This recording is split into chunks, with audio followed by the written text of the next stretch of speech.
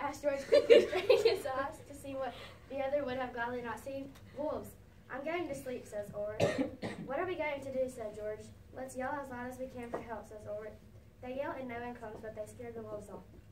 Well, at least we've got them gone and out of our hair. Now to find our men, says George.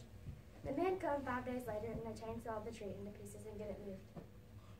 Ulrich's leg had been so damaged that it fell off.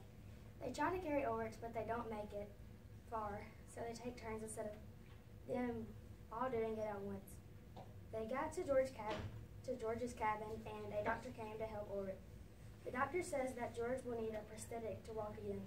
After the doctor came and left, the men had a feast, and they ate until they couldn't anymore. They fell asleep while compromising over the land. They wake up to the land being burned and most of it flooded. Wow, says Ulrich. Good thing our cabin is on the hill, says Ulrich. Our cabin? asked George. Yes, says George. This is our cabin, making it our land. Five years later, more men come to fight Ulrich and George over the land. A tree also falls on them and they die instantly. Ulrich, Ulrich, Ulrich, yells one of his men. Wake up, they say. Ulrich had been asleep and the whole thing was a dream. How long have I been asleep? asked Ulrich. I don't know. About one hour, replied one of his men. Boys, let's go, says Ulrich. We're going to find the man who wants this land. They go to the lake where they would separate and find the others. They will begin their journey and find they began their journey and found no signs or signals of anyone.